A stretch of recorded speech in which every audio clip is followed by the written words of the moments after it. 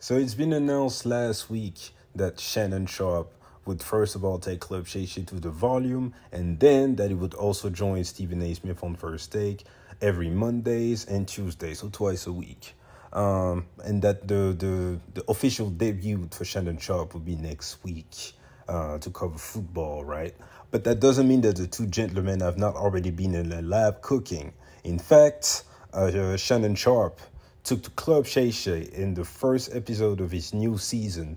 Um, and the, the first episode of his edition of Club Shay Shay on the volume will feature Stephen A. Smith and is scheduled to drop, I believe, today, later, you know. So, one of the topics that they were able to tackle was obviously the new moves, Shannon Sharpe's edition, and none other than Skip Bayless. So before I actually get from this article from the big lead, please like the video and subscribe to the channel. So I so I quote No matter how problematic, and it can be problematic at times, the reality is that I wouldn't be here where I am today if he didn't give me that opportunity on first take. So for me to be where I am and to know that it springboards off of something that he was directly involved in making happen, for me to insult him in any way is just disrespectful, it's wrong, and it's something that I will never do. Then Shannon Sharpe says, For me, I cannot let six months ruin six and a half good years because sometimes people are willing to throw everything away for one mistake, one bad comment, or one something like that. So that was Shannon talking about Skip Bayless with uh, obviously Stephen A. And then they closed Stephen A. saying, Listen, I got a lot of friends over there. All right, we all know that. I know a lot of people, but that doesn't mean what happened to you is fair. Plain and simple.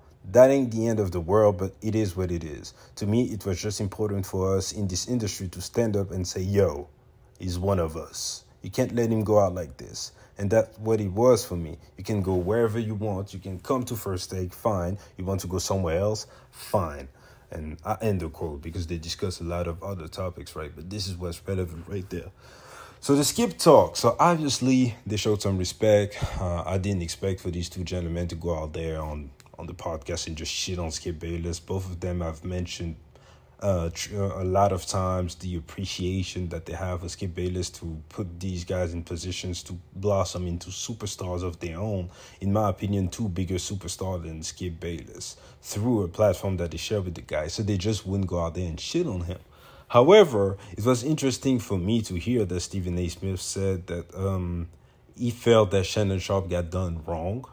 And uh, by done wrong, it can mean two things. Either he feels uh, that Shannon Sharpe get disrespected with uh, the um, the Hamlin situation and with the shots on live TV, uh, Skip Bayless saying that Tom Brady was better than him, and then proceeding to tell him to put his glasses back on. Maybe that's what he meant by got done wrong, or he meant he got done wrong, meaning um, if you remember, Shannon Sharpe was bought out, and uh, I made a video I want to say three months ago when Stephen A. Smith kind of suggested, he didn't way say it, but this is the way I took it, that Skip Bayless was the one that wanted Shannon Sharpe of the show. That basically you you do not walk away from that platform, that much money, something that was working uh, so great for you for six years, unless you are kind of forced to. In that, in, in quote, he said that he knew Skip, and that after Shannon Sharpe came on TV, after not showing up to work uh, over Dar- uh, Darvin Hamlin, and then making that you know that little monologue, the uh, Skip Bayless was so annoyed by it, he couldn't even let Shannon go through the monologue that it broke something forever, and that after that, knowing Skip, it was done. So maybe this is what he meant by the fact that Shannon Sharpe got done wrong, and if that's the case, man that's just more proof than Skip Bayless just pretty much sabotage his own show because right now he's trying to figure it out with a new crew. Uh, I'm not one of these guys who are writing the show off.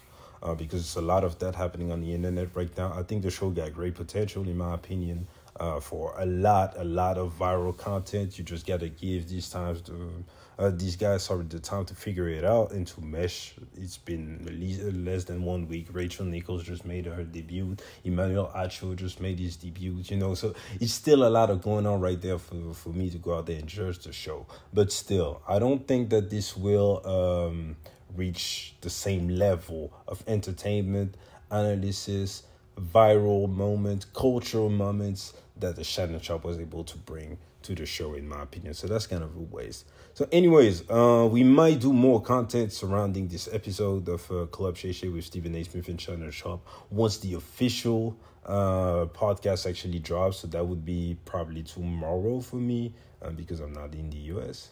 But yeah, in the meantime, uh, I hope you guys enjoyed this video. Appreciate you guys for checking me out. Get in the comment section and talk to me, man.